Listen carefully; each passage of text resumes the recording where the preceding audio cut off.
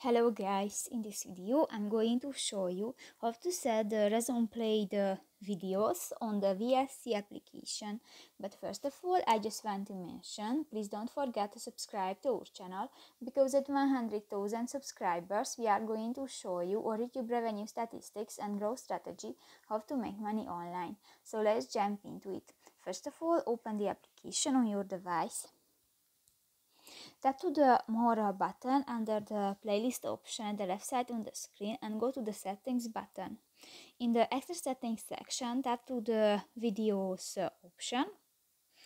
And uh, uh, go to the Resume Played Videos button. And here you can select Always, Never or Ask Confirmation option.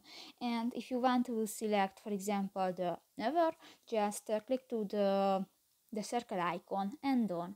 So that's uh, pretty much it for this video guys. See you in the next one. Bye bye.